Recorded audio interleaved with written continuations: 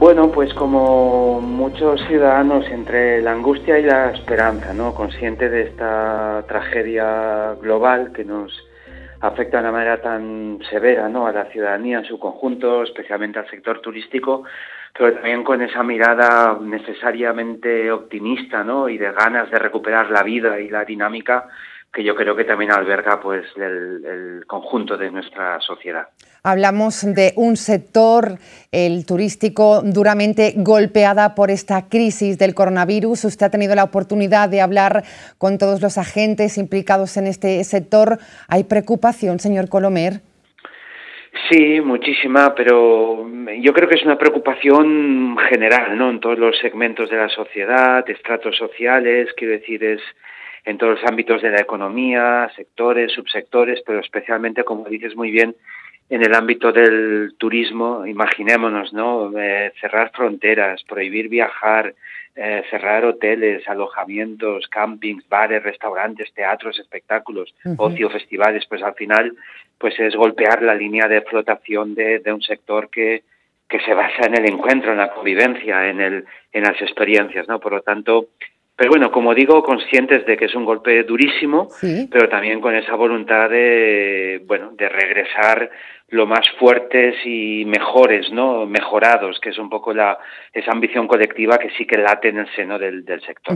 Usted pedía al Estado que ayude al turismo, un sector que siempre ha dado la cara por la economía del país. Estamos hablando de, y que representa el 14% del Producto Interior Bruto. ¿Debe hacerlo el Estado? ¿Ayudar de qué manera? Sí, debemos ayudar todos los niveles del Estado, ¿no? Porque aquí no vale señalar a la otra administración. El Estado somos todos, ¿no? Yo creo que ayuntamientos, diputaciones, Generalitat, el Gobierno central, por así decir, la Unión Europea, que no puede demorarse, tiene que llegar puntual a una cita con, con la economía y con, y con un sector, una parte tan importante de la economía como es el turismo, pues lo cierto es que desde el punto de vista del, de la agenda, ¿no? del inventario de propuestas que el propio sector ha, ha presentado de orden laboral, fiscal, financiero, eh, de préstamos, de exoneraciones de tributos, en fin, todo aquello que razonablemente sea posible, yo lo que sí que entiendo es que es el ahora o nunca, ¿no? Porque este sector que siempre, como decíamos antes, ha dado la cara ahora Em, sin locomotora y sin la capacidad de generar y de multiplicar su efecto positivo en el resto de sectores muchas veces, no solo por el turismo, sino por lo que beneficia al resto, creo que este es el momento, bueno, pues de, establecer esa, esa efectivamente, ¿no? Y afectivamente lazos con este sector, ¿no? Ahora no lo puede abandonar nadie. Señor Colomero, y precisamente Turismo y Comunidad Valenciana ha tomado una medida destacada, ha inyectado 7 millones de euros al sector turístico en el último mes y también en abono de ayudas de 2019, una inyección importante y necesitada ahora mismo.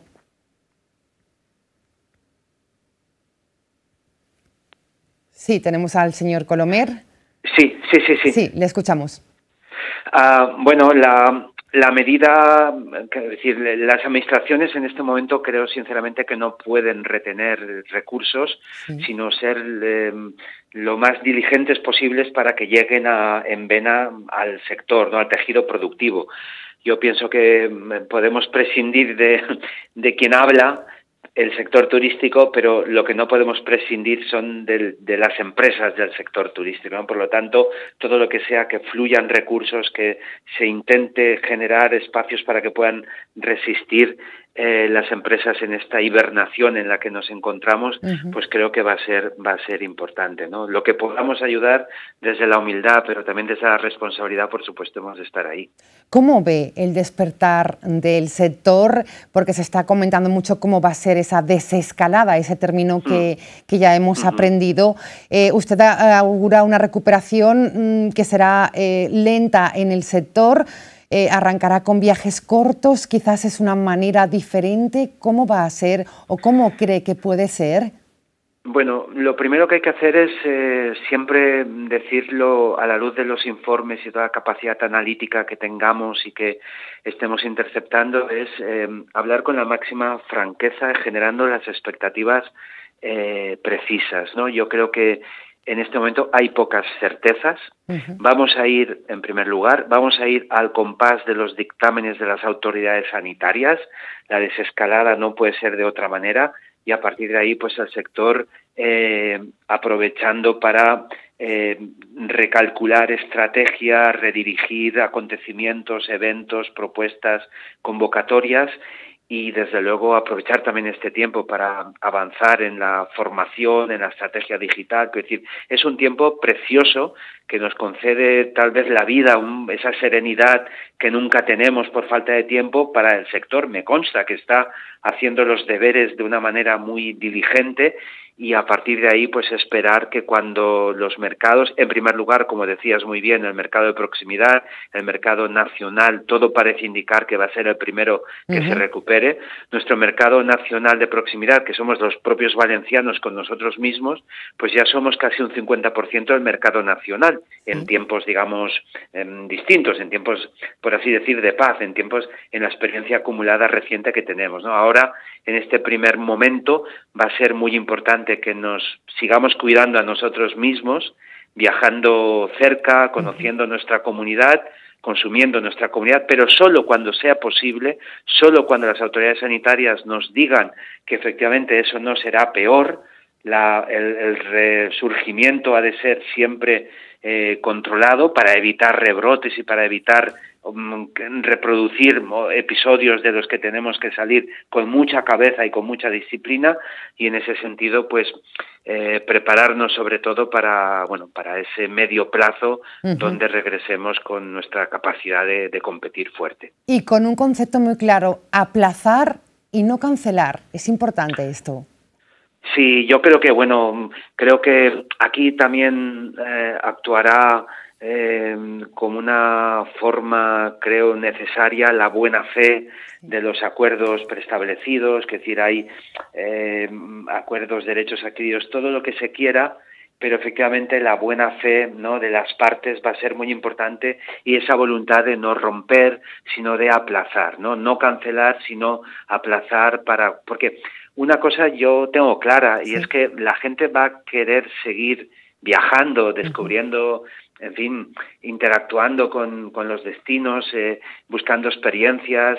El, turismo, eh, cuando regresemos, cuando el mundo vuelva a la normalidad, seguirá siendo un sector muy apetecible, muy importante en nuestras vidas. ¿no? Hay países que no tienen el, el hecho de viajar como un lujo, sino como una necesidad y por lo tanto todo eso habrá que seguir cultivándolo.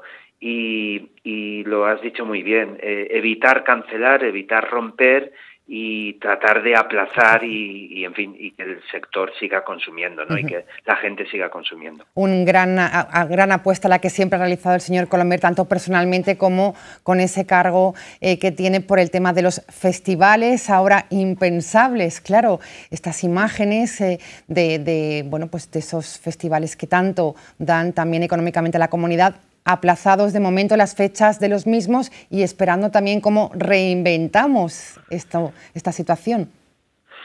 Sí, los festivales es dentro de toda la oferta turística de nuestra comunidad, como sabéis muy bien, es un sector, es un producto que nos ha funcionado muy bien, que tiene mucho que ver con las eh, organizaciones ¿no? y con las promotoras, con su talento, con su capacidad de, bueno, de plantear unos carteles y de haber ganado un posicionamiento internacional, nacional muy potente, ¿no? La verdad es que eh, en la temporada de festivales se ve mm, profundamente afectada, profundamente condicionada y a partir de ahí pues estamos obviamente diseñando estrategias para que la línea de bueno de ayudas de incentivos pues no, no se pierda no habrá que hacerlo de otra forma pero es importante que el tejido empresarial vuelva a esa a esa a ese enfoque. No se mantenga aguante resista para que efectivamente todo el volumen de pérdidas de expectativas frustradas pues mm, eh, nos permita bueno cruzar esa travesía en el desierto. Si me permiten la expresión y regresar cuanto antes tal vez en la próxima temporada de festivales con toda la fuerza del mundo. Eh, señor Colomer, ¿qué mensaje trasladaría ahora mismo a todo el sector que le está escuchando en directo? ¿Cuál sería ese ánimo? Pues eh, sobre todo de lo que este sector entiende muy bien, un sector, y también la sociedad valenciana, pero este sector muy especialmente sabe lo que es el sacrificio. Solo entiende sacrificio aquel que lo ha vivido en sus carnes, y este sector lo ha hecho, lo ha protagonizado, ¿no? Se ha caído cuatro veces y se ha levantado cinco. Eh, y en este momento que nos enfrentamos a una crisis desconocida, no hay precedentes, lo hablaba esta tarde con destacados líderes del sector empresarial a nivel nacional. Esto no, no hay recetas claras porque no lo hemos vivido jamás.